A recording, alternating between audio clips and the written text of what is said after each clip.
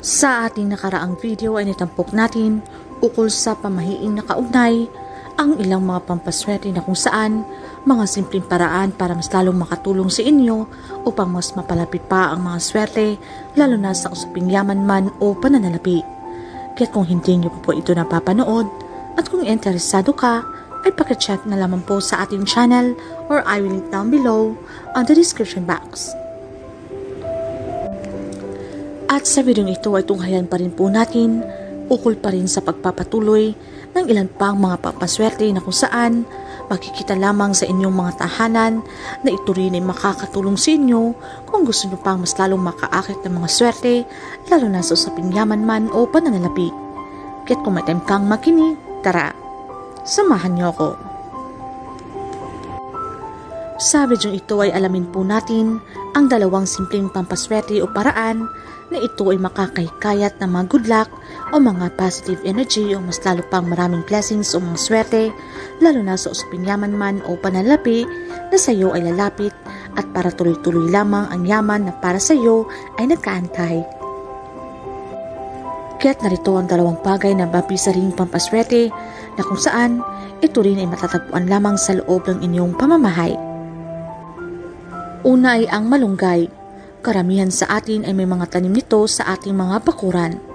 Hindi lamang ito ginagamit sa sangkap ng pagluluto, ay mainam din itong pampaswerte. Ang gawin mo lamang ay kumuha ka lamang ng tatlong tangkay nito, saka ito itali at pagsamasamahin gamit ang pulang laso o ribon at isabit ito. Ito ay kailangang palitan kada tatlo hanggang apat na linggo at siguradong sa pamamagitan nito ay sunod-sunod ang malaking swerte ang mapapasayo. Sumunod naman na isa pang pampaswerte ay ang asin. Kumuha ka lamang ng pulang tela at lagyan mo ito ng asin at pagkatapos ay talian mo ang pulang tela ng panali at saka mo ito isabit.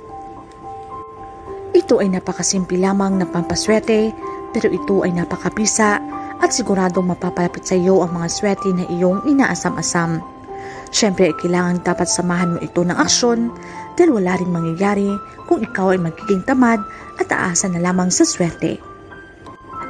Dapat ikaw may isang daang porsyento na may pagtitiwala sa iyong sarili, sikap at pananalig dahil ito ay pinaka-epektibong mga sangkap tungo sa iyong tagumpay o tungo sa napakagandang kapalaran sa malapit na hinaharap. Kaya't para sa inyong mga Chansky, ay agad yun ang affirm sa inyong mga sarili ang mga swerte o magandang mangyayari sa iyong buhay.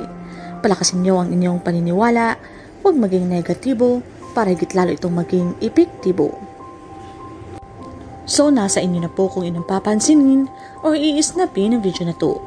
May basan man o wala ang naging interpretasyon ng mga pampaswerteng ito ayon sa paniniwala ng mga matatanda ay kinapo ang pahalang humusga. Basta tandaan lamang po natin na ito lang naman po ay isang gabay o inspirasyon lamang. Wala namang masama kung ating susubukan o ating paniniwalaan basta't ang mahalaga ay hindi po tayo nakakapanlamang. Huwag lamang dapat tayong sumobra, tandaan pa rin po natin na kung gusto natin swertihin o yumaman o magkaroon ng maraming pera, pinakamas mainam pa rin sa lahat, sipag at syaga tiwala sa may kapal at maging positibo sa buhay ay hindi imposibleng mas lalo pa po nating makakamit ang ating tagumpay.